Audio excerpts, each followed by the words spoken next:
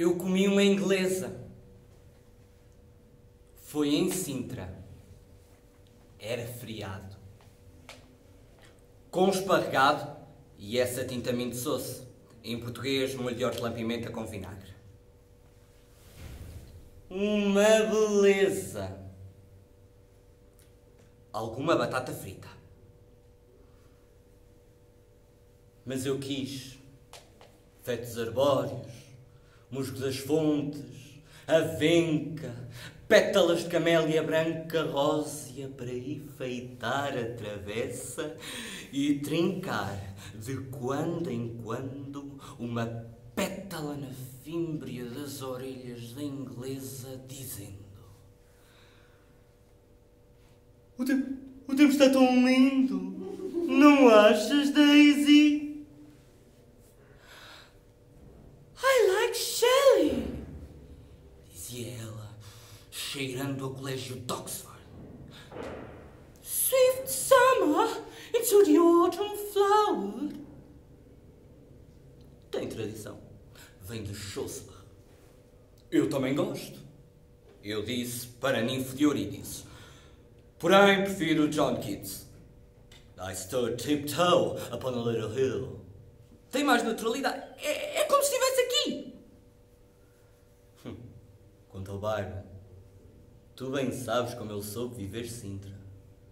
A glorious heathen inhabited by savage Lusitanians. Quanto à sova, não me refiro. Tudo isso é, tudo isso é história antiga. It's true! É verdade!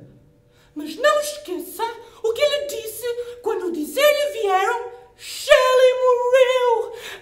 Atravessou o Helesponto a nado! I whip for Adonais. Não. Não, não, não é. De Shelley, dedicado a Keats. I whip for Adonais because he's dead. Não está mal a tradução. Mas tens razão. Sou português e não gosto de falar com a boca cheia. Esta mania, Luzia, de cuspir no chão é feia. Nós não vivemos na selva. Don't be silly! Alfato! Não gostas?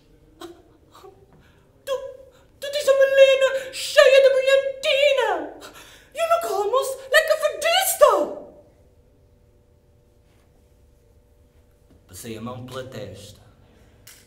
Desgrenhei a madeixa, dizendo: Queres morangos, figos, amoras ou beijos?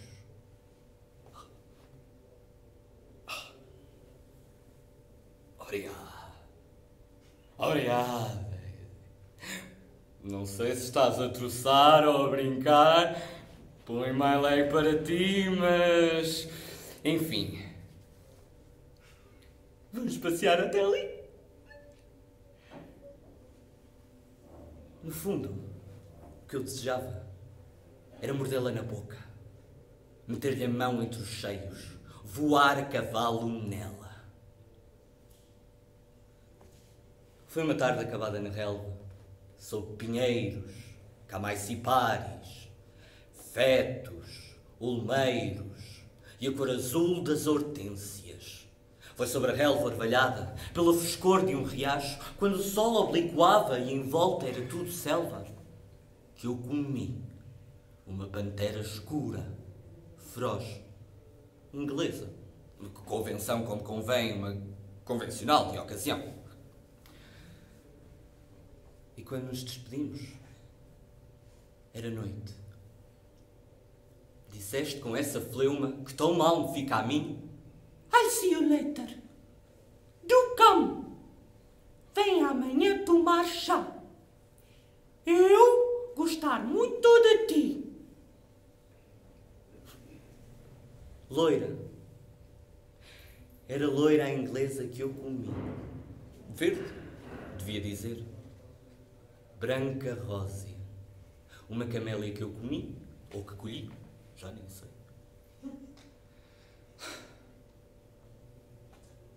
com peitinhos de perdiz e alguma poesia. the air was cooling and so very still.